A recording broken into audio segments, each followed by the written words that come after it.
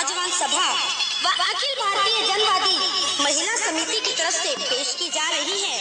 पिछले कुछ सालों से हमारे समाज में शराब का प्रचलन सरकार की नीतियों की वजह से ज़्यादा ही बढ़ गया था। शराब ने एक सामाजिक बुराई का रूप धारण कर हमारे समाज, घर परिवार, रिश्ते नातों को अंदर से खोखला करना शुरू कर दिया है। इस सामाजिक बुराई के खिलाफ एक जन चेतना अभियान चलाने की सख्त ज़रूरत है। इन जन चेतना अभियान में समाज के लाखों नर नारियों को शामिल करने की ज़रूरत है। विशेषकर हरियाणा प्रदेश के नौजवान व महिलाएँ इस अभियान में हिस्सा लें, जिन पर शराब की सबसे ज़्यादा मार है। यह कैसेट उन सभी जन नायकों को समर्पित है, जो इस जन अभियान में हिस्सा लेंगे। धन्यवाद।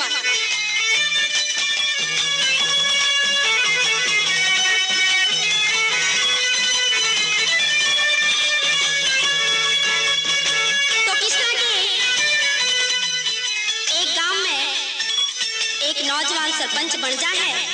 और सरपंच बनने के बाद वो अपनी माँ से जब आशीर्वाद लेने खातर आवे है तो उसकी माँ उसने समझाते हुए एक बात के ज़रिए न्यू कहे कि बेटा, नेक काम करिए, गरीबा की सदा रक्षा करिए और नशे पते की लत है बच करिए और समझाती हुई अपने जवान बेटे ने चुप करके कहने लगी